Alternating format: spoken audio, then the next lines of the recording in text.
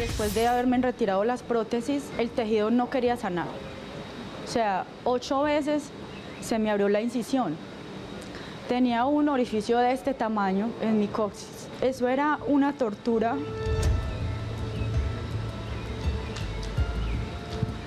Tener que ir otra vez a pasar por ese dolor, a que volvieran a suturar.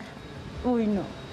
O sea, mira, esto yo no se lo deseo a nadie, absolutamente a nadie.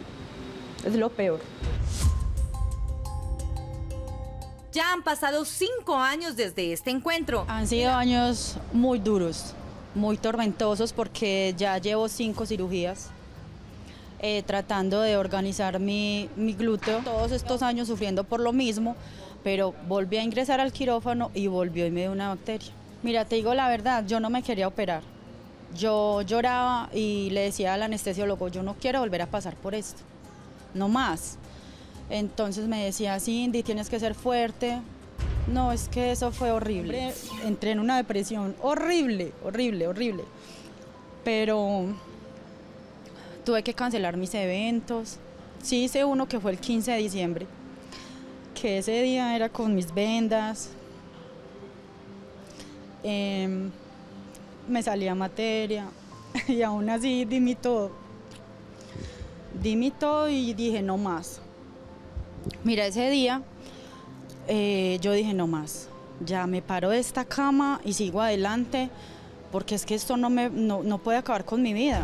Ya en marzo, que me tuvieron que volver a operar, de todas las cirugías que me han hecho, creería que esta fue la más dura. Hasta hace un mes y medio apenas que, que vengo como retomando mi vida, otra vez como volviendo a hacer lo que me gusta, eh, demasiado doloroso.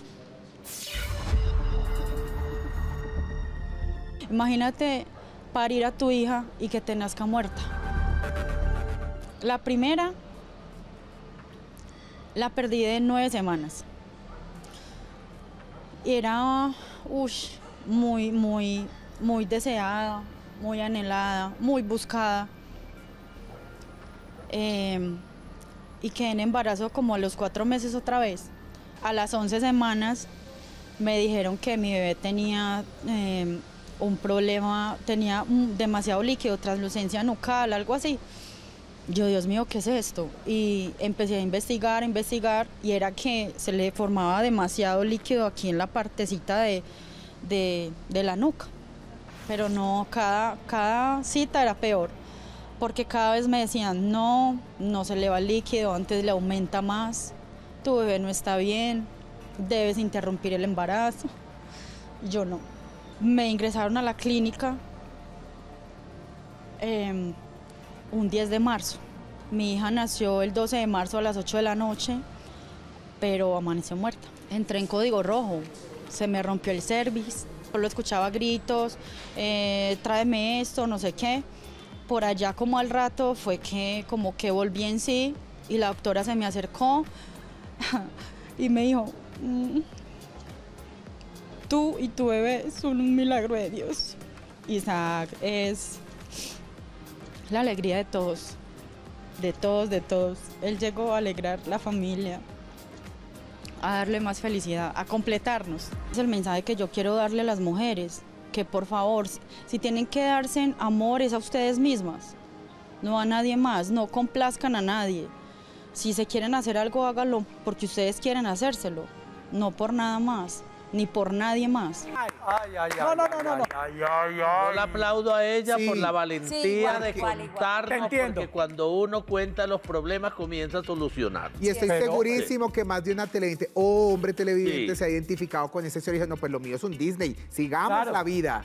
Y además yo creo que aquí no es mirarlo con el ojo de inquisidor, como, No. ¿por qué lo hizo? Es que es un mal buscado. No. ¿Qué hacemos? Creo que todas las mujeres, los seres humanos nos equivocamos. Todos. Muy seguramente en ese momento de no encontrarse a sí misma y encontrar aceptación en su pareja, pensó que era la mejor decisión. Claro. Hoy lo lamenta. Y lo Qué lamenta, y esto que ejemplifique, porque es que vos no te tenés que hacer ninguna cirugía ni ningún ni ninguna Ningún, ningún. mejorita, ni Exacto. por qué no te quitas o te pones allí, dice. porque de eso está lleno este mundo. Pero Ahora, hablemos también de los bebés. ese drama tan berraco, Gini. Eh, o sea, creo que definitivamente ella eh, retó al destino, si se puede decir, porque es que definitivamente ya después de tantas pérdidas, yo creo que cualquier otra mujer eh, hubiera Desiste. optado por no seguir adelante. Pero ella quiso ser madre a cualquier costo. Y yo que soy mamá Sí. y después de escucharle su drama, yo prefiero pasar por miles de cirugías y no tener que vivir que le entreguen en brazos y ver su, su No, bebé eso muerto. tiene que O ser sea, horrible. eso, eso, eso ya, de hecho, creo que en la concepción de unos padres, y voy a generalizar, porque que existen muy buenos papás hoy en Sí, día, claro que sí. es, es, es un rayo muy jodido.